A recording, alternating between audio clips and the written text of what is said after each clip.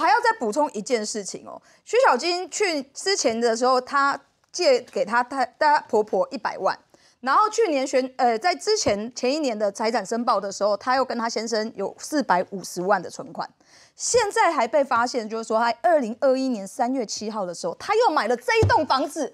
哇，这一对夫妻好厉害啊！在这几年，不但可以借一张卫生纸给婆婆，还可以累积四点五张的卫生纸，还可以有头期款去买松山这边的房子，在等待都更。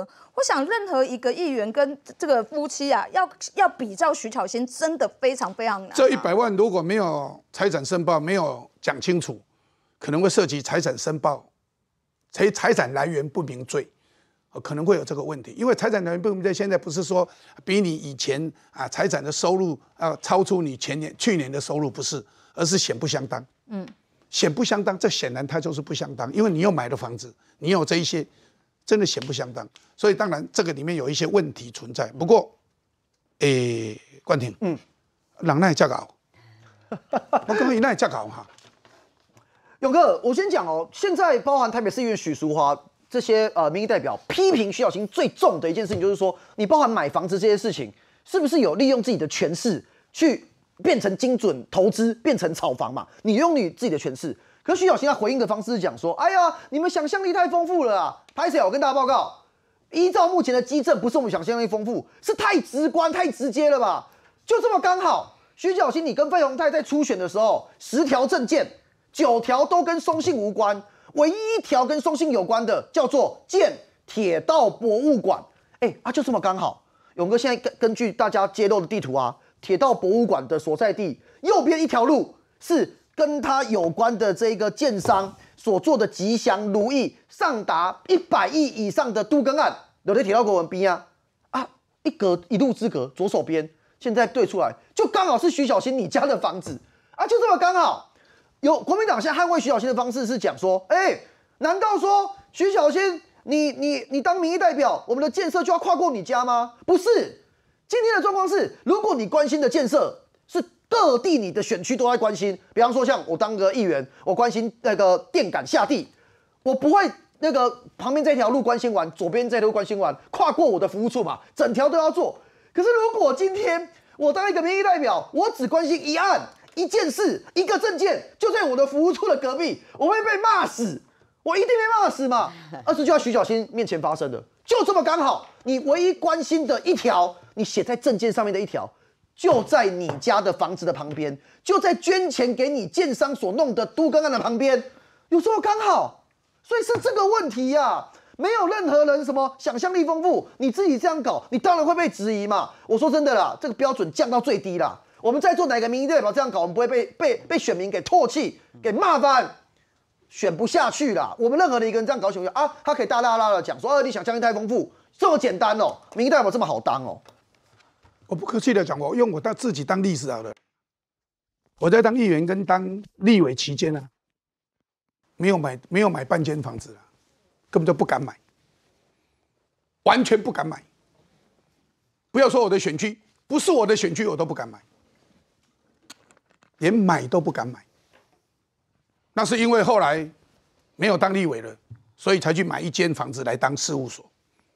因为本来旧的那个事务所租给人家，租期还没到，所以啊收不回来，只好再去买一个，才是这样子。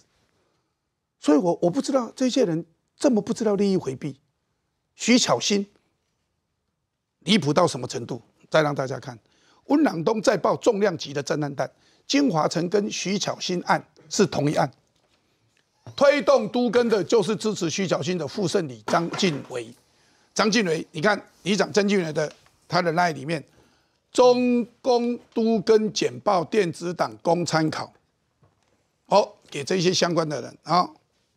然后呢，大家看看立法院徐小新服务处二零二四报税服务，这都是这个在赖里面里长在帮他宣传。张建伟在李明的群组中啊，在群组中鼓励居民填写都跟意愿书，就是这个。好，大力推荐的合作厂商就是中华工程。中华工程谁？就魏京小沈。魏京小沈是谁？就是金华城的老板，就同一个人。魏京集团事业群，魏京小沈过去担任中华工程董事长。徐小新一边当达永公主，另外一个身份就是金华城的大法师。律师、大法师不一样，大法师可以普度众生吗？还是普度他自己？我不知道。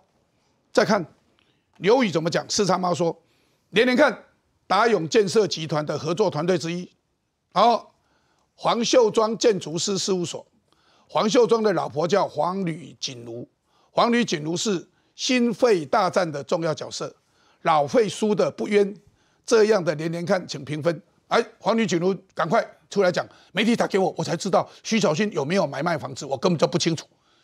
询问过先生的办公室，确定那个案子不是我先生他们负责规划设计的，他赶快出来讲。不过人家是这样子讲，刘宇也这样子讲，要你连连看。诶，资深记者连连看。我终于知道为什么徐小新今天要绕跑不接受媒体访问了，太多了。我跟你讲，因为我下午有跟那个四叉猫同台，四四叉猫又爆了一个最新的料。他事实上哦，这个刚刚大家讲的徐小新的这个中古屋哦，五十四年的中古屋，啊他你知道他他贷款贷多少？他这个房贷一千四百三十万，他贷了八成，五十四年的房子哎。好，他贷款贷这间房子，他这间房子按照他的财产申报，你不管是一千七百八十万，或是一七八八万，或是一千八百万，不管啦，反正他的那个申报变来变去啦哈。他这个房子一千八百万，他的房贷他跟北富银贷了一千四百三十万。第一个怎么这么巧，又是北富银？第二个五十四年的中古屋可以贷八成哎，而且第个第三个他这个房子又二贷了，他这个房子不但贷了一千四百三十万八成之外，他。隔了一个月之后，又贷了一百六十八万。当然，一百六十八万可能是他的装潢费啦，因为大家知道他这个是五十四年的中古屋。可是用狗我在那边讲，我讲到这边，我看你眼睛真的很大，大家都觉得不可思议。一个五十四年的中古屋，你知道吗？我我当了今年，如果我不不去从事公职了啊，不当议员，不当立委了啊，不当部长，我今年律师第四十年。嗯。我办过非常非常多的，包括金融这些相关的案子。五十四年的房子要贷八成，你假开卖的呀？我讲这一句话，我第一次买，诶，第一次买房子，第二次买房子的时候，我把第一次买的房子卖掉，去买内湖的房子，大概在民国八十一年左右。我是到民国九十年才当才当议员的，才选议员的，你知道吗？我要去贷的时候。我买一千三百五十万的房子，我跟台湾人要贷八百万，他不贷我，他说八百万太多了。我那个房子那时候才几年，三年的房子，当然是中古屋了，但是人家才住了三年，装潢也还可以。我一千三百五十万要贷八百万，他不贷我。我跟他讲，我还把我的报税资料给他看，我是律师，那个时候律师是讲实在话，那个那个时代律师是很少，还算蛮拽的行业。嗯，不行。所以我为什么眼镜睁那么大？会不会又跟富邦贷的？对，又是跟富邦贷的嘛？又是北富银。你看她婆婆，人家南部的房子一千一百万都可以贷到一四五零，或者贷更多。那这个贷八成又是跟富邦贷的，而且是五十四年的房子。对，所以我为什么眼睛那么大？你现在知道为什么了吗？是，又是富邦。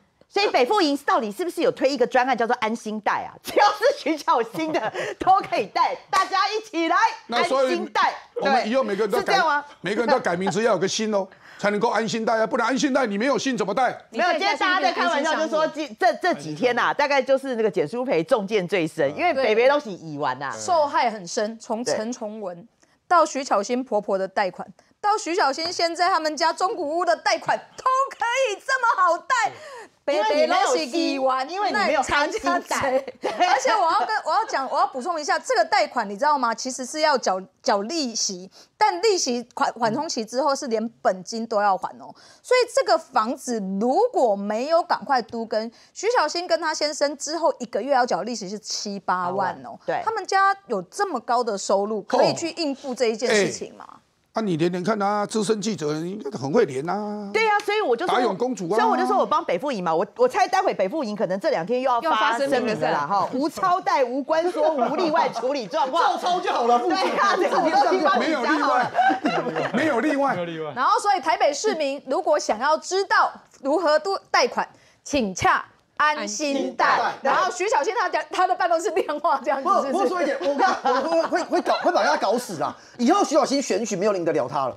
他可以这个选民服务啊，教大家怎么安心贷啊，我们都没办法。你只要买我，好的不是不是我，以后好 以后买一千一千一百万的房子，就去找徐小新，然后就可以贷一千四百五十万，哇，这个选民服务按你稳掉了。